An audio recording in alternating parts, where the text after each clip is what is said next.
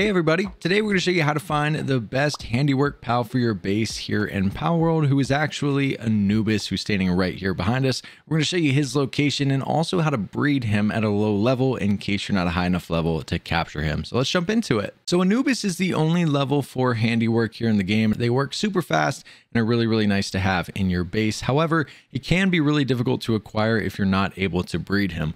So we'll start by showing you the boss location on the map. He's going to be found pretty much right in the middle over here in this little desert area. And you'll find him, there's a giant statue of Anubis in the middle of this desert that he kind of hangs out near. However, he is level 47 and he's very, very complicated to take out if you're not a really high level or have some buddies that are also high levels with you.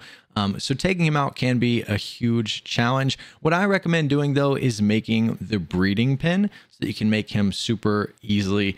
Uh, all you need to do is be a level 19 to unlock this and you can throw this down in your base.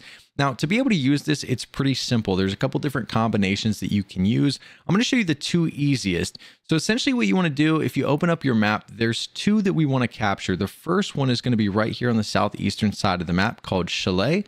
We want to capture this one who's level 11. And after you grab Chillet, we can come right over here back up to where the Anubis boss location is. And just west of him, you're going to see the Quivern who's level 23.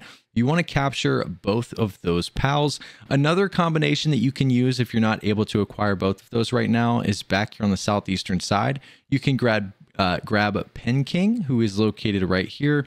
He's level 15. And you can also grab Bushi, who's going to be over here to the left.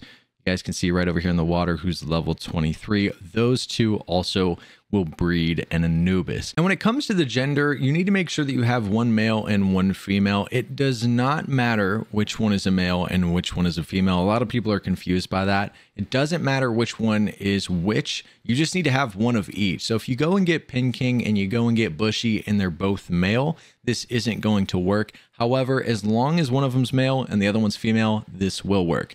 Now, once you have both of them, all you need to do is come right over here to your PAL box. You can go ahead and open that up and you want to take the two PALs that you're going to use to breed and put them in the section that says PALs at the base.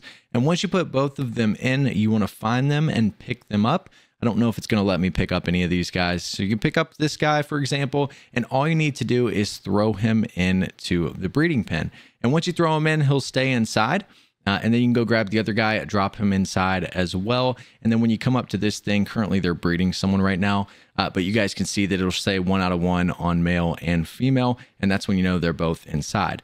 Then all you need to do to finish the breeding process is put a cake right here in this little breeding farm box that's on the outside. Uh, to make a cake, you can just put down a cooking pot. You guys can see we have one on the rock right over here. And when you go to select a recipe, guys can see that we currently have the materials that we need, which is flour, red berries, milk, egg, and honey. You just need to make one cake. You can go ahead and throw the cake in that box. And once you do, they will start breeding. It won't take too long at all. And once they make uh, once they finish breeding, they'll drop an egg. You can then pick up that egg and throw it over here in an incubator. And then all you need to do is wait for it to finish incubating, which right now this is going to take two hours and 40 minutes.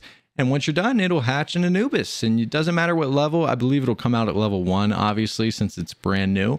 Uh, but it doesn't matter the level for the handiwork. So a level one Anubis still has the level four handiwork, and then you'll be able to run around. You guys can see, I think mine's level 24 currently, and uh, and you'll be able to use him to get things done a lot quicker.